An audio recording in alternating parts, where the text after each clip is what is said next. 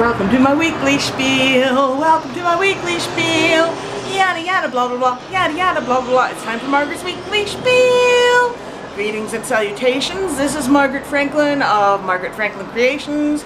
Today is Thursday, August the 8th, and everybody else just got on the Lakeview Park bus. I'm still waiting for the Oshawa Center bus. I can't remember whether or not I did a weekly spiel before my 60th birthday or not. If not, then here you go. Oh, noise, noise, noise! Oh, there goes another Whitby bus. Hmm. It figures mine is always a... Shut up! Noise, noise, noise, noise, noise. This neighborhood sucks.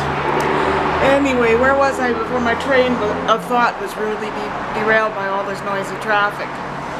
I had kind of a strange birthday. I think um, I've been sad that it's over because everything was actually on the birthday. There weren't any festivities leading in or out. The morning of my birthday, Jeanette came over and we we met at the corner where just as she got off the bus, had nachos for lunch at Hardy John's over there. And I don't know if you can see it too good. There's the tattoo place where we went right afterwards. That was the highlight of my day. I was getting these matching ladybug tattoos. Right here, I'll show you. And then 5 o'clock that evening, the in-laws came to take me and Dave to the Mandarin, but I didn't really have much of an appetite. I felt kind of sick, to be honest. I Next time I have a feast at the Mandarin, I'm not going to eat anything else the rest of the day before that because I was feeling sick towards the end of the meal and couldn't finish dessert. I just had to plunk down my bowl and run to the bathroom and hurl. Hmm. Didn't quite... I had to dodge all these people in the way. The place was super crazy busy. Talk about major sensory overload. It's a wonder I didn't have a meltdown. Oh...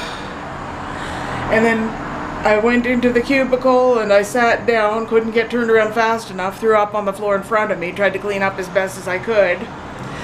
I've been going through a bit of a depression for the rest rest of the week ever since then. Post-birthday blues.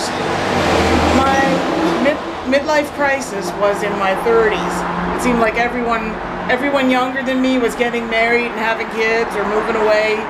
And Jeanette and I pulled up stakes and moved 30 years ago, we moved moved to Toronto on the 13th of August, and the rest is history, or is it? I I lived in Toronto till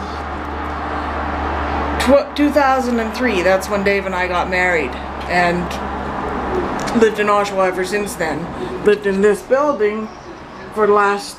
It'll be three years in September. Anyway, what else is new? Jeanette and I are planning on going to Bowmanville today. We're going to this autism place. I hope they can meet our needs better than Kerry's place ever did. I really lost respect for that place when they they gave my husband the option of dropping me off at a group home. Like, screw that. I'm not a what's the word I'm looking for? Piece of damaged merchandise. When I heard that, I, I really lost respect for them. Dave told me that during the housing search. I didn't know about it for years. Also, his aunt's been wanting to break us up. She's not going to get her way, forget it. Duh. Anyway, I am almost finished the Carousel of Smiles quilt. You will be seeing pictures of it on my Facebook page and in the new Margaret Franklin Creations. It's getting hard to concentrate. I wish the bus would hurry up and get here. That's obviously not the one that I want.